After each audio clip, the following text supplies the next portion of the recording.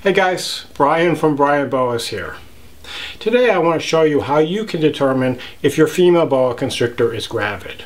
I'm going to go over the different characteristics of gravid females and then I'm going to show you a number of gravid females that have just become gravid in my breeding group so you know exactly what to look for. If you're new to the channel, this is the place for information about all aspects of keeping and breeding boa constrictors in captivity. So if you want to learn all about these amazing animals, be sure to subscribe so you don't miss out on my future boa videos.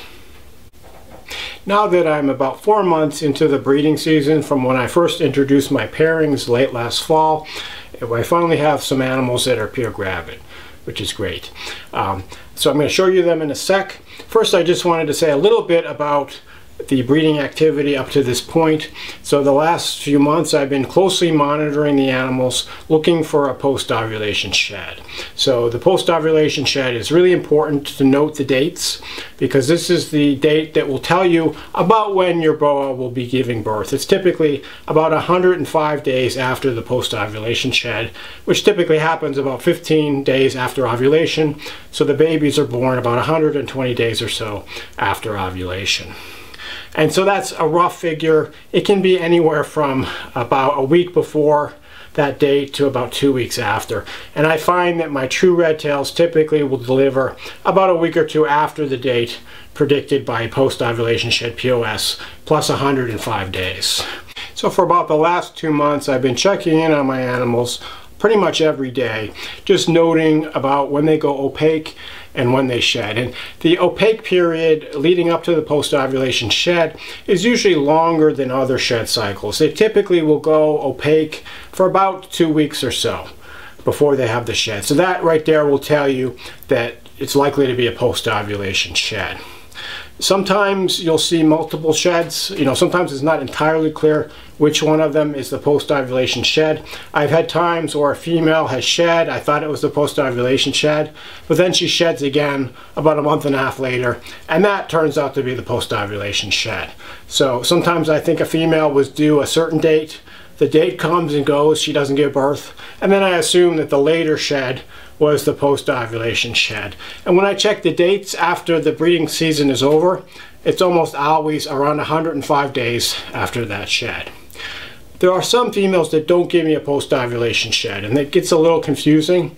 So if an animal really appears pregnant or gravid and hasn't had a post-ovulation shed, sometimes I can go by my previous year's breeding records when I'm predicting the breeding, you know, the due date. Even if that particular animal hasn't bred for me before, I can go by records of similar uh, types of animals. And again, the more that you breed year after year, the more you build up records, the more better you get at it and the more valuable those records come. So make sure to keep very explicit breeding records every year so you can learn on them in the next uh, breeding season. Females will also often be a little bit darker in color after the post-ovulation shed. And this is thought so they'll absorb more heat and they can keep the babies warmer while they're incubating. So that's another thing to look for. So what else do we look for in a gravid female? Well, real briefly, the first and most obvious is the animal is going to be bigger.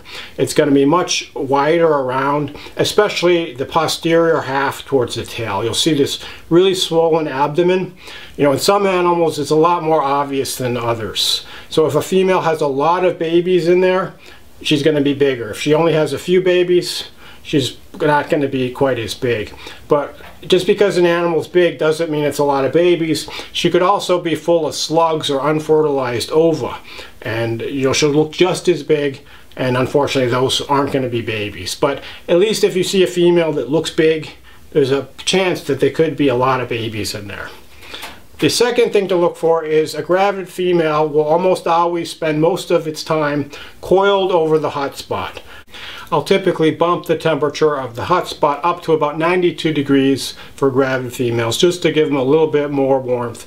And the gravid females will typically spend most of their time tightly coiled over that hot spot. Not 100% of the time. They'll also cruise to the other side of the cage sometimes, but they'll spend a lot of time at the hot spot.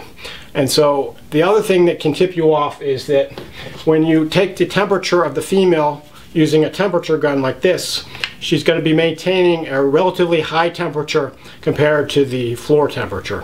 So if your floor temperature is at 89, 90 degrees and you read the temperature of your female and she's at 91 degrees, there's a pretty good chance she's gravid. So a non-gravid boa is usually going to be a, a few degrees cooler than the hot spot. But gravid females, it appears, can actually raise their temperature a little bit. Uh, I know that pythons can use muscular contractions to raise the temperature of the eggs.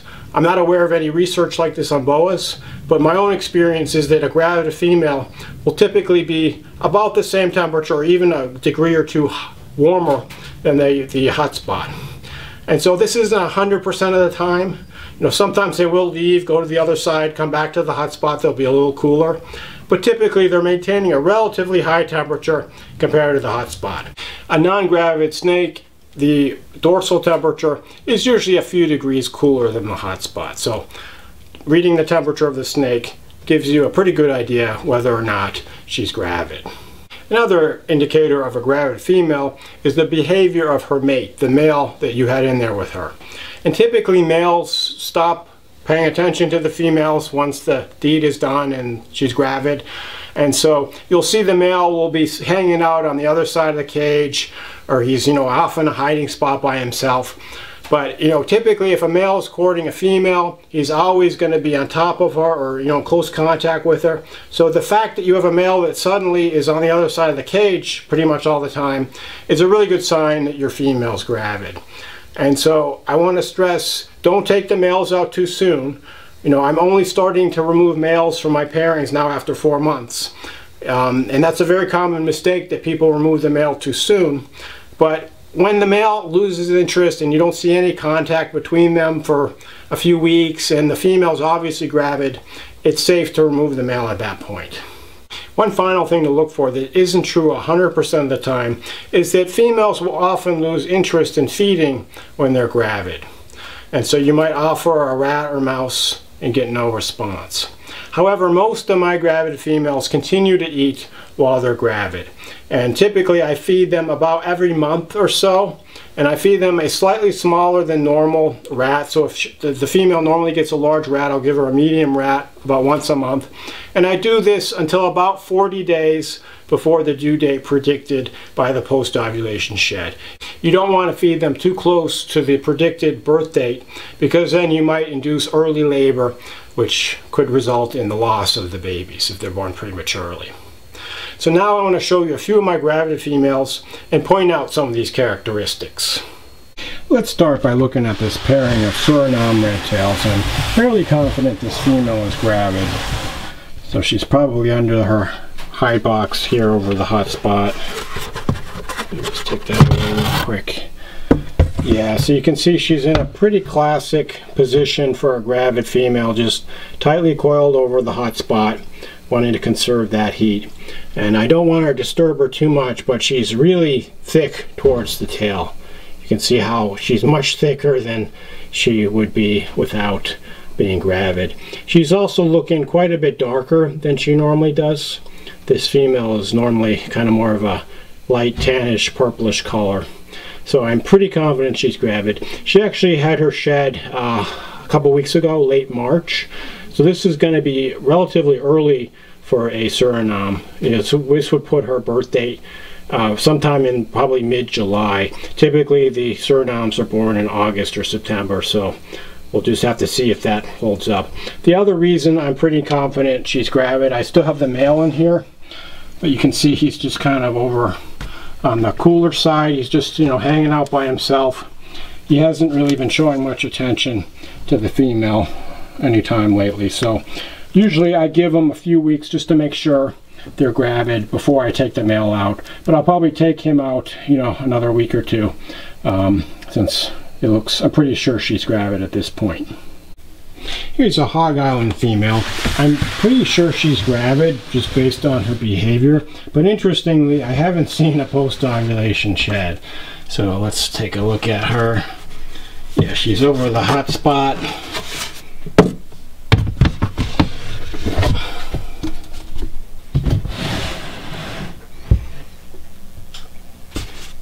So what's kind of interesting is she's going into a shed right now.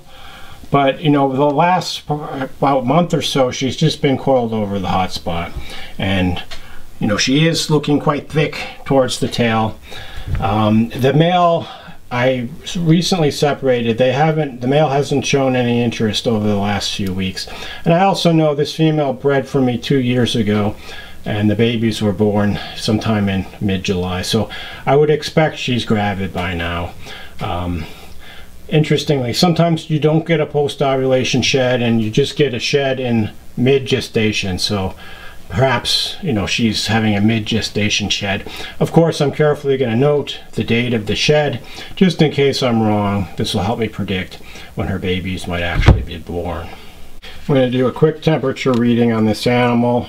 So, looks like she's about 90, 89, 90 degrees. Hot spot's about 85 there. It's about 87, 87, yeah, so you can see she's about a degree or two. That hotspot's 90 there. So she's right at, you know, about a degree or two above the temperature of the hotspot. You can see the hotspot varies and her temperature varies as well. But since she's reading about the same as the hotspot or a little higher, that's definitely a positive sign that she's gravid.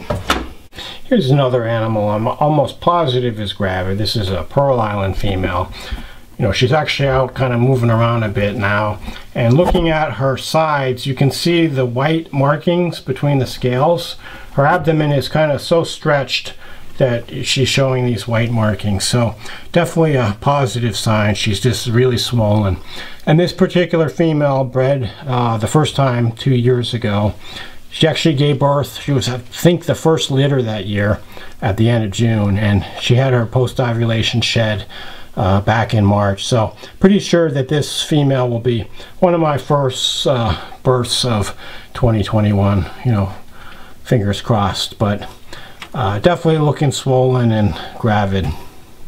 Finally, here's the pairing. I'm not entirely sure that she's gravid yet, but uh, it looks like it's possible. But I'm continuing to keep them together. This is a Pucallpa Peruvian true red tail.